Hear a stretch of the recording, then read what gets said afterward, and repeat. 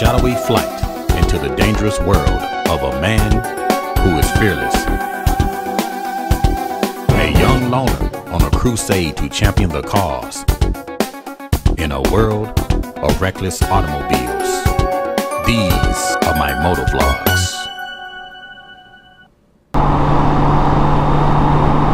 Hey, what's up YouTube? Your boy Chris, I'm out on the Gold Wing today. Out on the Gold Wing. And it's a good day for a ride. I'm showing the current temp of 84 degrees. 84 degrees early in the morning already. It's been hot, y'all. It's been almost too hot to ride. But today I decided to give me a little ride in out on my 2016 Honda Gold Wing. Cruising through the mean streets of Memphis.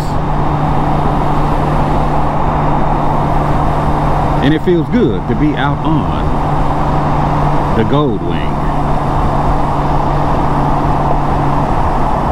The Bikers Roundup has finally moved out, so I would like to thank everybody that came down. I know a lot of you guys have reached out and wanted to meet up with me, but shouts out to all of the Caliente followers that got with me. I appreciate you guys. I also want to give a quick shout out to Kenneth.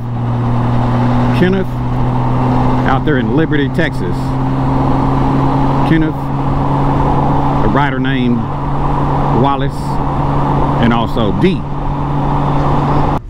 Kenneth Joseph Yep. watches my videos down here at Chow Time. How long you been watching? Oh, about 10 years. It's 10 been years. a long time. okay, where y'all Yep. ride up from? We riding up from Houston, outside of Houston, Liberty, Texas. Liberty, Texas. Yep, In the house. in the house. All right. What's up, gentlemen? Chris, how you doing? Chris. I follow you too, man. All right, all right. Nice to meet you. All right. Nice to meet you, brother. Nice to meet you, Chris. All right, all right. Yes, and uh, I'm gonna grab a bite to eat. I'm just checking out their gold wings. Yes, sir. The Really ultimate nice seat. you, man. I like that.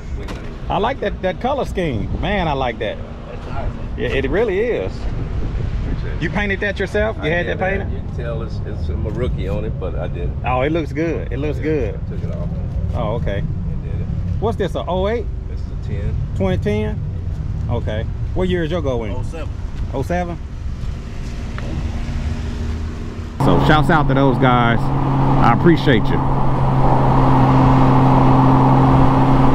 But it was a lot of bikers here in town. Man, the traffic was really, really thick. I know on one of the occasions, I tried to go down to the Bikers Roundup and they wasn't even letting people in. It was just that crowded. They said it was just extremely crowded. A lot of people was there. It was hot. So if you was able to get in, you was successful. So I hope everybody had a good time here in Memphis, Tennessee. Beale Street was crunk. A lot of people was down there on Beale Street. Been a lot of, a lot of bikes. A lot of people from out of town. And we're gonna get on out of here. A lot of bikes down here on world famous Beale Street. And they got it so packed you can't even ride through. Man. But if you guys been keeping up with my channel, I also had concerns that I talked about, you know, before the roundup even started. I talked about the drivers, you know, and how you got to be really careful out here when you're in this Memphis area because they drive, man, sometimes like it's the last day on earth. So you have to be careful out here, as a matter of fact. We actually had a couple of uh, incidents here, automobile incidents. One biker lost his life, and I think that was related to uh, health conditions. So my condolences to the family of Dr. Rip.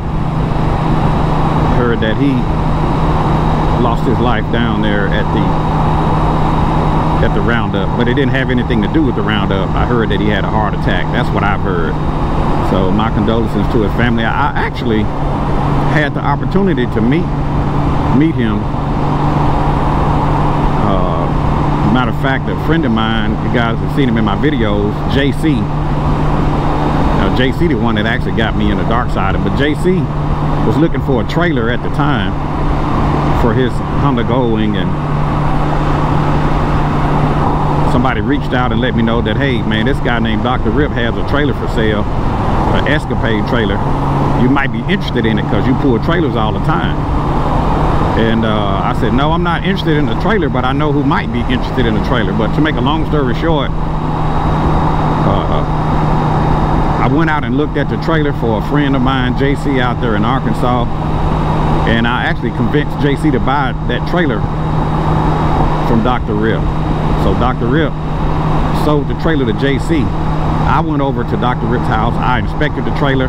As a matter of fact, I picked up the trailer and I brought it back to my house and I actually prepared it for JC. You know, I did things like uh, making sure all his lights was working, uh, getting his pigtail put on for the uh, the trailer wiring, and also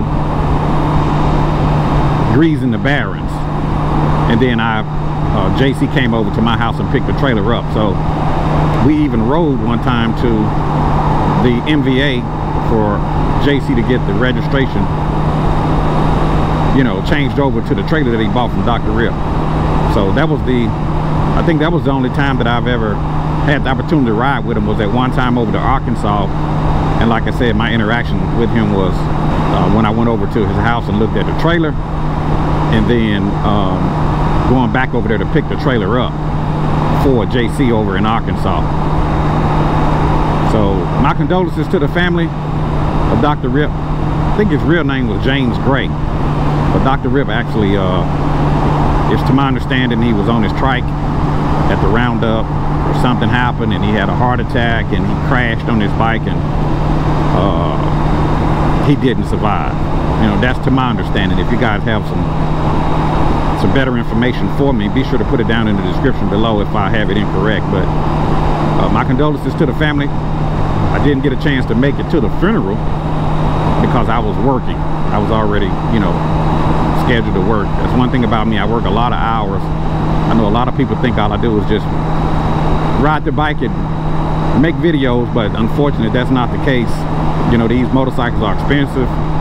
Everything about motorcycling is, is expensive, so you have to have uh, money to pay for these things and to live. So I work a lot of hours. And when I'm not working, I try to ride as much as I can and make videos when I can. So that's probably why you guys see me all the time. I'm on the bike. You don't see me when I'm out working. But anyway, shouts out to uh, friends and shouts out to everyone uh, that watches my channel. Like I said, my apologies, I didn't make it to the funeral because of my schedule. So rest in peace, Dr. Rip. Uh, better known as James Gray, his real name. So I'm just out here cruising this morning, rambling on the go when you're trying to get the ride in. It's actually 82 degrees out, 82 degrees. And also, doing that roundup, I heard of another uh, fatality. I think a couple people actually were killed on a, a golf cart. You know, somebody ran into them. And the story was, you know, it was on the local news right here in town. People that when you're riding in this area, to be careful, you know, keep your head on the swivel, you know, because people nowadays, they drive really bad, y'all. They they drive like they in such a hurry and they drive like it's the last day on earth. So, you know, that's why I keep blind spot mirrors on my bike. I always watch my, you got to watch your six, especially when you're out here on these interstates. You know, sometimes when you're on these little side streets and back roads, you can kind of relax a little bit. Uh, but when you're on the interstates, make sure you keep your, your eyes in the back of your head because people start to come up behind you flying 100 miles an hour. And when you're approaching an intersection, you have to really be careful too because you don't know what the person behind you is going to do. They start to crash into you or the person in front of you is to turn in front of you at, at the intersection. So you got to be really careful on the interstates and you got to be careful at the intersections. So it doesn't matter if you're riding here in the Mid-South or if you're riding in any state, state or city for that matter, you gotta, you know, just be extra careful. But around in this area, you know, be really, really careful. You know, I've, I've spent many, many years here. I was actually born and raised out here. And these motorcycles are inherently dangerous, so we really have to, you know, just be careful and keep our head on the swivel when we're out here riding these motorcycles. So if anybody is in the market for a motorcycle, if anybody out there watching this video and you're in the market for a motorcycle, got a good deal for you guys. I know a guy who's selling, I know this guy personally, and he's selling his a 2010 Kawasaki Voyager. The bike only has, I think it has 19,000 miles on it. It's a touring bike. And he's in the market to sell this Kawasaki Voyager. So if anybody out there is looking for a good deal on a touring motorcycle, this might be a good deal for you. A Kawasaki Voyager motorcycle. I'll get more information for you guys and maybe do a, you know, put this in another video. But sometimes when I put this stuff out there, you know, it goes fast. It goes really, really fast. So if anybody out there that's watching this video and you're in the market for a touring motorcycle, a friend of mine is selling his Kawasaki Voyager. It's a 2010 and I think he's asking about $8,000 for it. A really good deal on a Kawasaki Voyager. It's a touring motorcycle and the bike only has 19,000 miles on it. So I'm gonna leave my telephone number down in the description of this video. If you guys wanna call me, get any information that I can provide, I might even leave the customer's number down in the description of the video as well.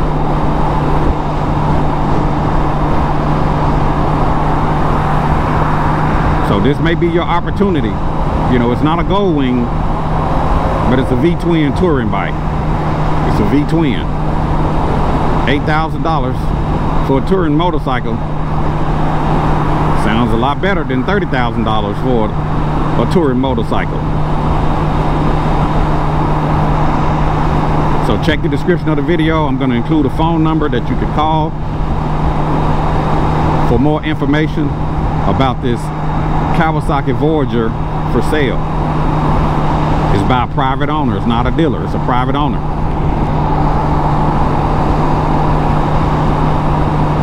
So I'm just out here cruising on my Honda Gold Wing this morning trying to get the ride in early this morning. And it's already starting to warm up. Showing 82 degrees, but we got some cloud coverage today. Got some overcast. I think today is a 20% chance of rain, something like that. 20% chance of rain. Also for sale, I have my seat that I had on my 2016 Honda Gold Wing, my custom red seat. I'm selling it. It's three pieces. It's a heated seat. It's actually the original seat that came off my 2016 Honda Gold Wing. It'll fit your models 2012 through 2017. It's the original seat. I had it reupholstered. The color is red. And you guys have seen it in my video. It's like red and black with uh, diamond stitching.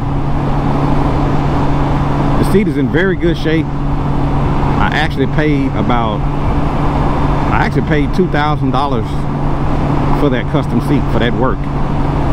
And I'm gonna sell it for, I'll sell it for half of what I paid for. I'm just gonna send you the seat, the passenger backrest, and it also has a Revolution backrest that was recovered.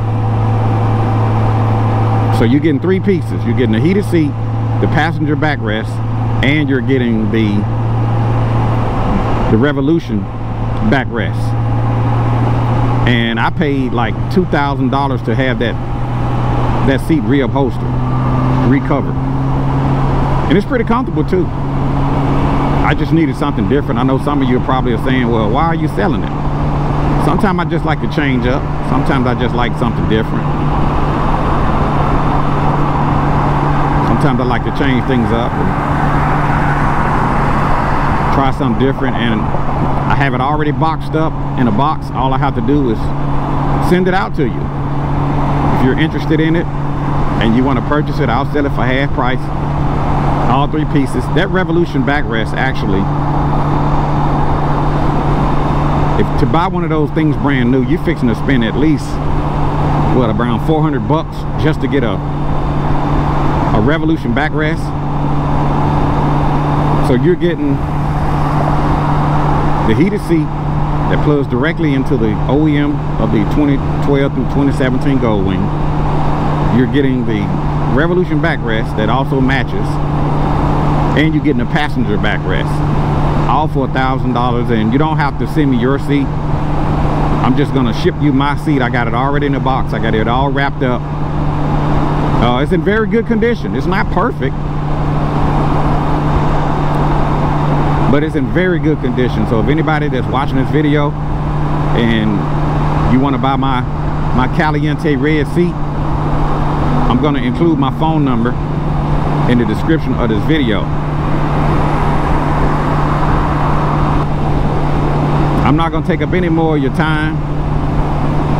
If you have not subscribed to this YouTube channel, please take the opportunity to click that subscribe button. If you like the videos that I post, be sure to click the like button. If you would like to make a donation to the channel, be sure to click that thanks button. Click that thanks button. That helps me to bring you guys future videos.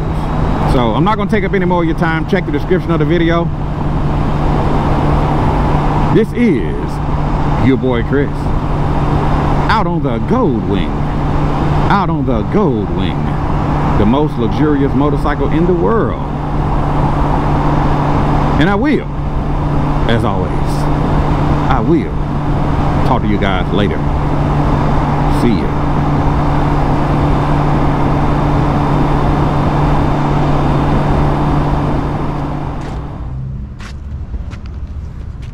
All right, fellas, y'all got to tell me, what do y'all think of this chow time? Hey, I thought it was off the chain, Yeah. man. I Off didn't. the chain. Enjoyed myself. We enjoyed it. Y'all full? I'm full. Chris, thank you. Uh, Thank you. You're welcome, man. You're welcome. I Only enjoyed these guys. I Came down. sleep on my bike. Uh, you can't sleep on the bike, huh? All right. Yeah, that chow time was off the chain. Yeah, we full. Enjoyed it. Sure did. Yes, sir.